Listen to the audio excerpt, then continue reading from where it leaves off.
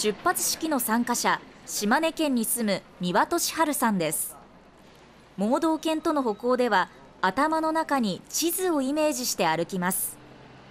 慣れない広島の地ということで到着早々道に迷ってしまいましたが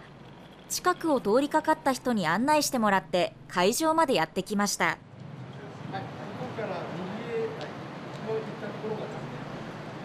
三輪さんの5頭目の盲導犬。ラブラドールレトリバーのグランです。2年前の10月から一緒にいますが門出を祝う出発式に参加するため松江市からバスでおよそ3時間かけて広島市にやってきました。三輪さんは36歳の時交通事故に遭ったことがきっかけで30年以上盲導犬と生活しています。グラントは訓練士の指導のもと2週間共に生活する共同訓練を経てパートナーになりました。とても元気な明るい子。で人は大好きで、えー、まあ、それもまた困ることもあるんですけど、まあ、一緒のにパートナーとしてあの歩んでいける、えー、友達ともですね。のように思っています。盲導犬の役割はユーザーに曲がり角や障害物段差の場所などを教えること。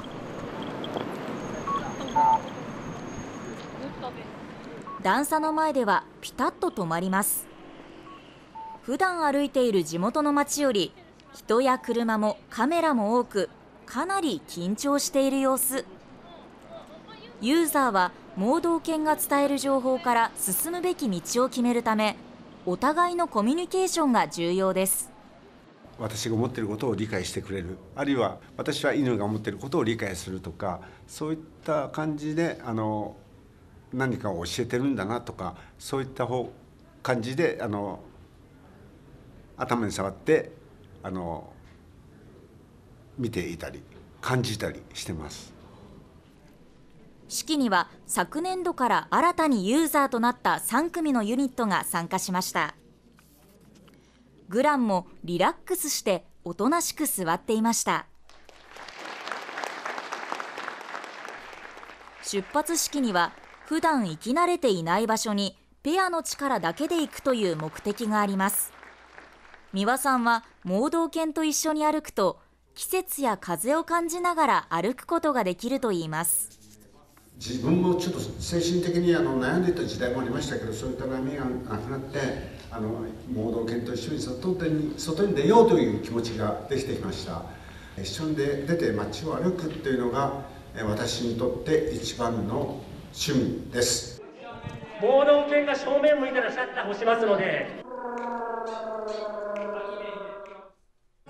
そうやってグランと一緒に季節やこう風を感じてるわけですね。そうですね。うん、あの盲導犬とユーザーの絆しっかり感じましたね、うん、そして VTR の中でも出てきたんですけど、来月改正障害者差別解消法というのが施行されます。民間企業でも障害のある人に対する合理的な配慮を行うことが義務化されるんですよね。で、どういうことかというと、例えば飲食店でメニューの読み上げや筆談をするといったことを依頼された場合に明らかに無理な状況でない限り対応することが義務になるということなんですよね。まあ、ただ義務になるからやる法律だからやるということではなくて私たちも一人一人が思いやりを持って自然とこういった対応ができるようになるべきだと思いますし障害のある方もまあ、お願いするときに堂々とお願いできるっていう環境づくりを整えていくっていうことが大切なのかなと思います。